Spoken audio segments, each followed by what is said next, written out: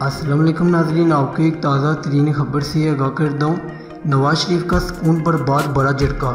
Jail میں قید نواز شریف کے لیے ایک اور پریشان کن خبر آ گئی؟ نیب لاہور نے چودھری شوگر ملز کیس میں نواز شریف کے خلاف بھی تحقیقات کا آغاز کر دی ہے۔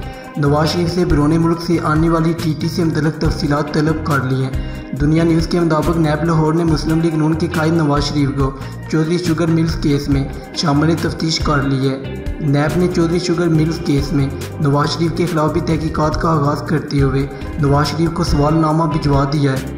نیب نے نواز شریف سے ان کے اکاؤنٹ میں بیرون ملک سے آنے والی ٹی ٹی سے متعلق تفصیلات طلب کر لی ہے۔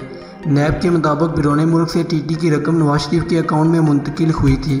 نواز شریف سے ٹی ٹی کی رقم کی تفصیلات کے ساتھ ساتھ ان کے تمام اساتذہ جات کی تفصیلات بھی طلب کی گئی ہے۔